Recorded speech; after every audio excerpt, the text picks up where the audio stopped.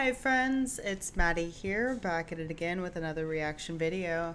And today we will be watching Creedence Clearwater Revival perform I Put a Spell on You. We're gonna celebrate Halloween after Halloween, guys, and onward through November and December. If you guys have Christmas requests, make sure that you put them in ASAP because we're gonna try to make it to Christmas. We're gonna try to make them for Christmas, but it's going to be close. So if you have any Christmas recs, start putting them in now. Anyways, this is a special request from Morbius, and let's get into it.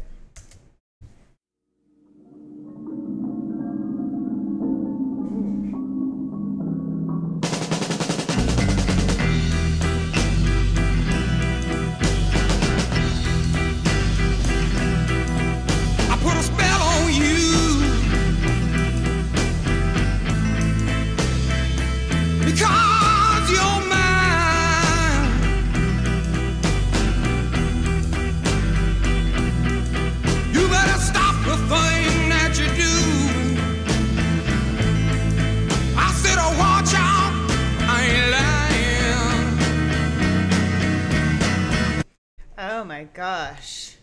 The atmosphere of this song, it's just it's it's it just envelopes you and his voice is really really gritty and raw. It's very very good.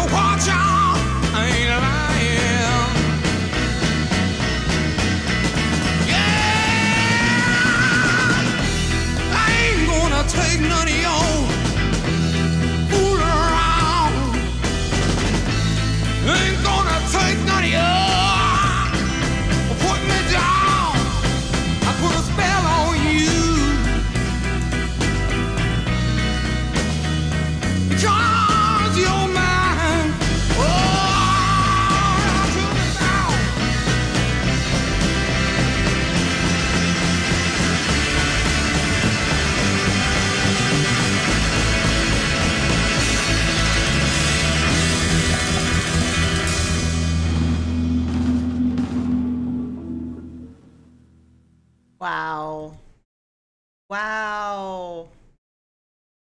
Wow, wow, wow, guys. That was crazy. I feel like